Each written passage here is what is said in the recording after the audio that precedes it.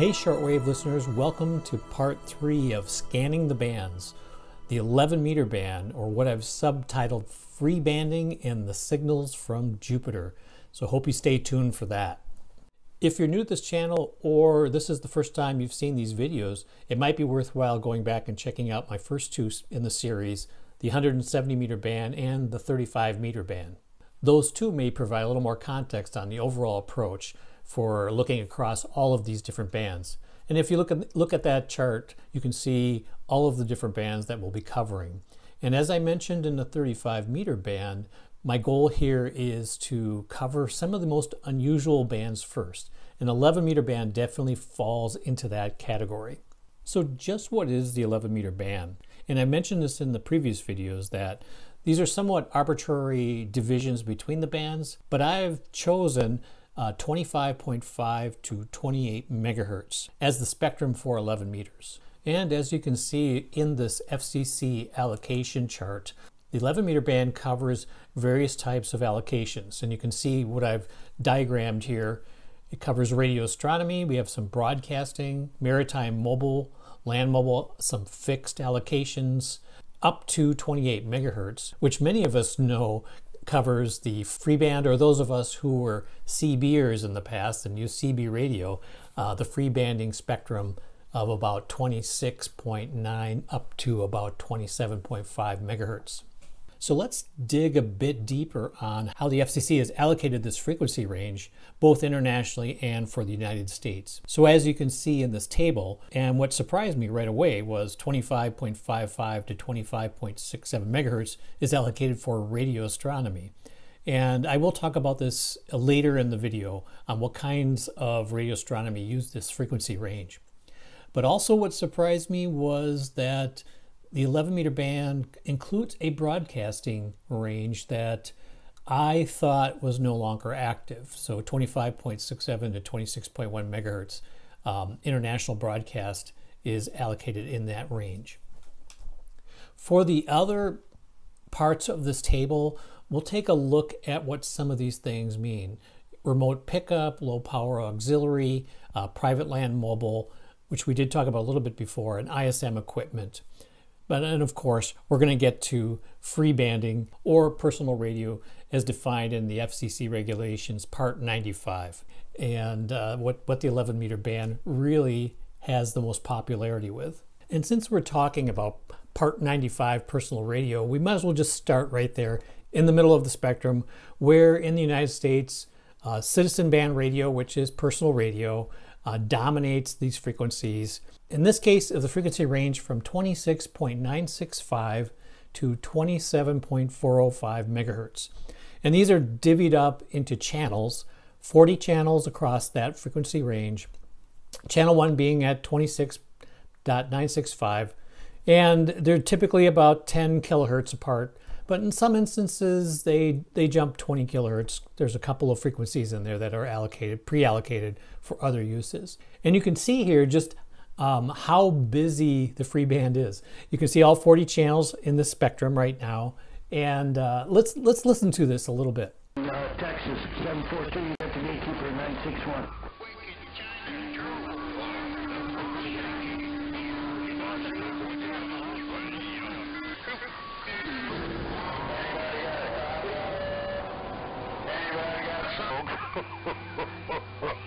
Going in. I'm gonna wait till that kitchen smell get out of it. That old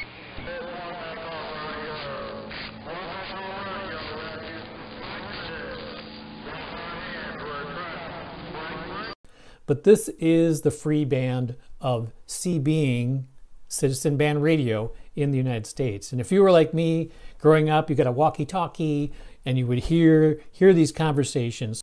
But here's the real catch with citizen band radio, and you may disagree with me.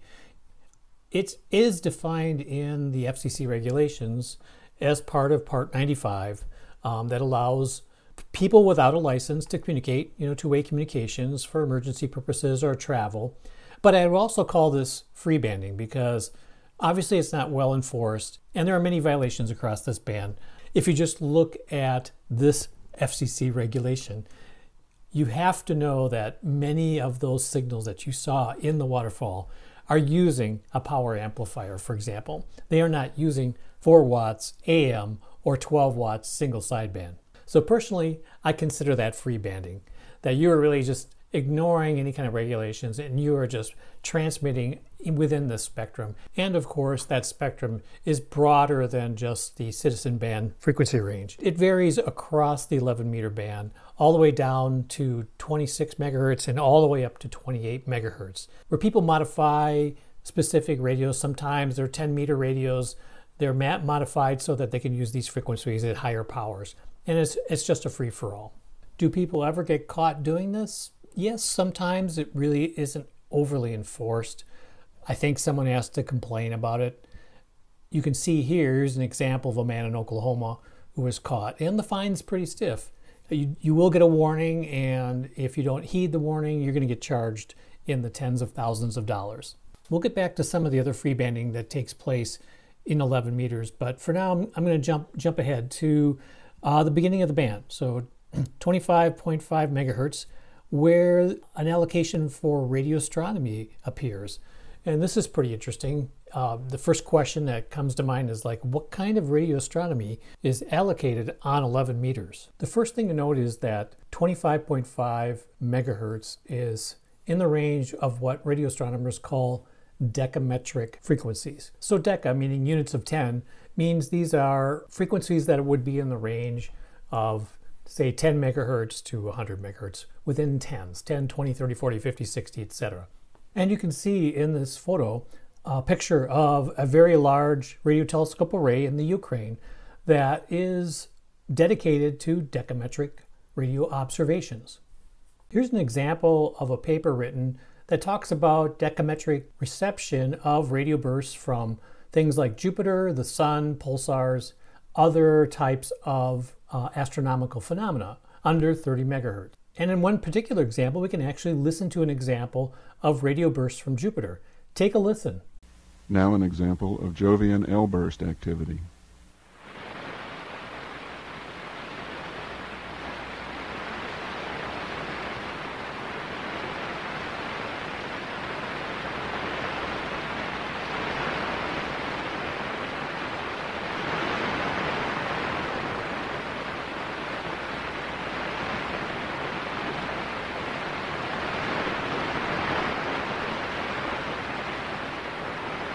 So I know that just sounds like static, but the increasing amount of volume of static going up and down like waves are the actual emissions coming from Jupiter.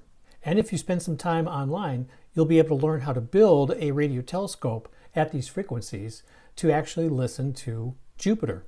So next up is something I mentioned earlier in the video that was kind of a surprise to me, the 11 meter broadcast band, which covers the frequencies of 25.67 megahertz to 26.1 megahertz. And I thought there were really no more stations on this band. However, there are two one on 25.8 megahertz and another one on 25.9 megahertz. First up is World Music Radio on 25.8 megahertz, located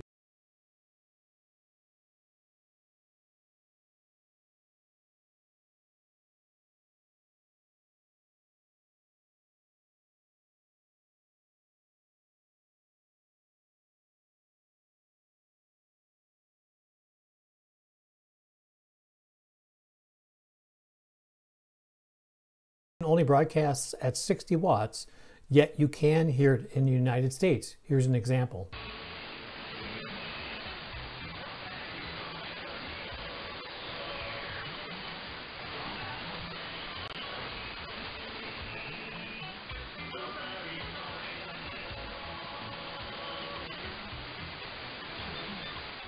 The second station I mentioned, which was broadcasting on 25.9 megahertz, is the uh, BBC World Service, apparently broadcasting to Africa. And I did find this particular chart showing that for an hour daily it would broadcast on 25.9 megahertz. However, I can't find that on the BBC site directly. So I don't know if they have stopped broadcasting. Maybe you listeners can correct me on this, but I'm not sure what happened to that frequency. But I do think I did receive it on one of the web SDRs. Take a listen.